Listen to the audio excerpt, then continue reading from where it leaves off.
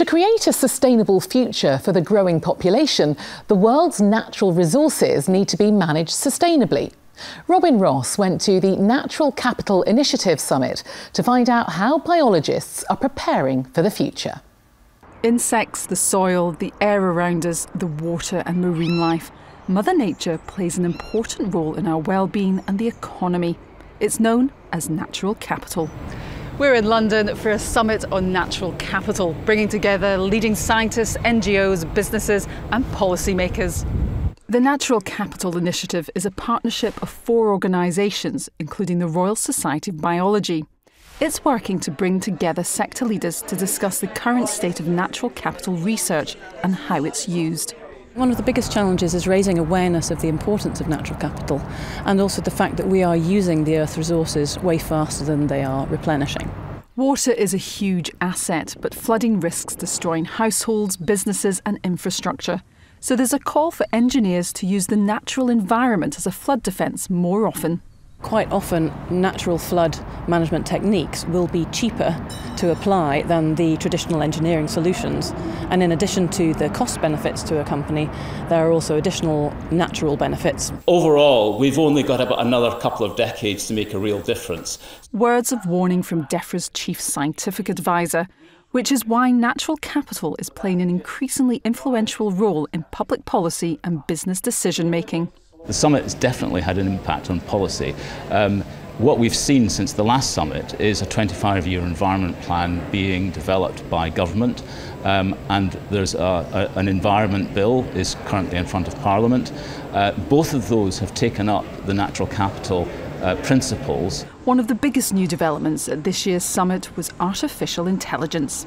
So my research filters into natural capital through the work we do in Oxford, which is the mapping modelling. What we then do is create uh, online tools so a landowner can draw around their area and work out on their land which parts of the nature on their land have a really important societal benefit. So it could be the trees and how the trees on the land are reducing downstream flooding through to the hedgerows that are really important for pollination. These discussions are essential, with scientists being very clear and vocal about what their studies have shown and political representatives needing to find a way to preserve the economy and living standards.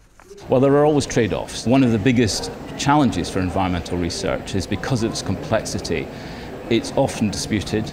Uh, there's often challenge to it. Uh, so refining the research outputs in such a way that we can be um, absolutely certain that the, the, the, the results are robust is really important. There's lots of local councils, lots of city plans are now starting to incorporate this whole idea of natural capital. And many, many counties around here, for example, around the sort of London basin, now have their own natural capital plans where they know how many trees they have and they know how much carbon those trees are sequestering. Economists are seen as playing a key role in helping to understand the value of nature. There's the area of environmental economics, which is where I'm from, where people are involved in natural capital, but that's increasingly becoming part of the mainstream.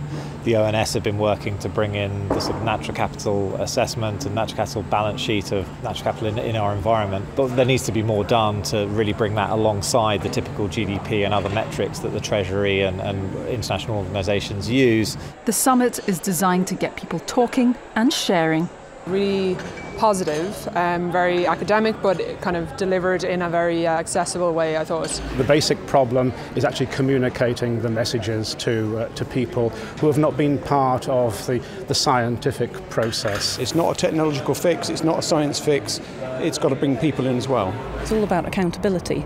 So, accountability as an individual, um, what impact are we having on the environment with our choices, but also accountability of a business, thinking about their supply chain impacts on the environment. This summit is just one of the many efforts of the RSB to bring together sector leaders to discuss challenges and help develop solutions. The natural capital of the world underpins everything we do, so we need to conserve it for the future.